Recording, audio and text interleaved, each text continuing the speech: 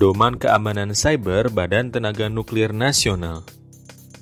Dalam menyongsong era industri 4.0, lembaga pemerintah dituntut untuk mengembangkan sistem e-government dalam rangka reformasi birokrasi.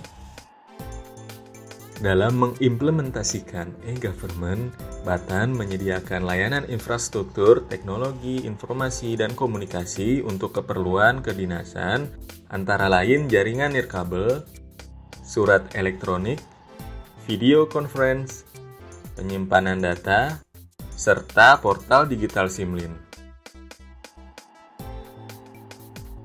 Tentunya Batan menyimpan banyak informasi meliputi data rahasia negara dan data pribadi pegawai yang bersifat konfidensial. Dalam rangka menjaga kerahasiaan, keutuhan, dan ketersediaan informasi konfidensial tersebut dari berbagai serangan cyber, dibutuhkan sistem keamanan cyber. Bagaimana Batan menghadapi berbagai serangan cyber ini? Batan telah membangun sistem keamanan yang meliputi firewall, tanda tangan elektronik, pesan transkripsi, pembatasan akses, manajemen password, dan menghindari penggunaan software bajakan.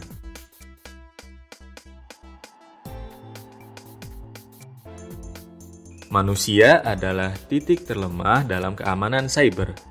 Di antara tindakan-tindakan yang membahayakan keamanan cyber ialah sembarangan membuka file dan tautan yang mencurigakan atau tidak dikenal, menggunakan server cloud pribadi untuk tugas kedinasan, tidak memberikan pengamanan password yang ketat, mudah dikelabui serangan rekayasa sosial, serta mengunduh aplikasi dan file ilegal di komputer kantor.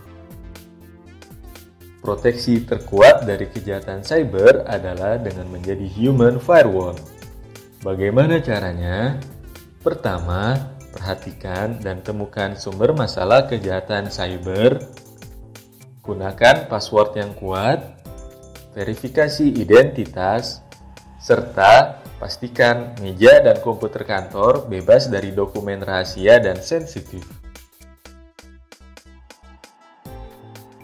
Di antara tindakan yang harus kita hindari dalam rangka menjadi bagian dari human firewall sebagai pegawai batan ialah tidak menggunakan cloud pribadi untuk menyimpan data kedinasan seperti progres kegiatan riset dan inovasi di Satker, tidak sembarangan mengunggah kegiatan kedinasan dalam kawasan nuklir ke publik tanpa izin dari pejabat yang berwenang. Apa yang harus dilakukan jika serangan cyber sudah terjadi di lingkungan kerja? Kumpulkan bukti dan segera laporkan kepada Computer Security Incident Response Team Batan melalui ekstensi 9025, email, maupun tautan yang tertera di layar juga di deskripsi video.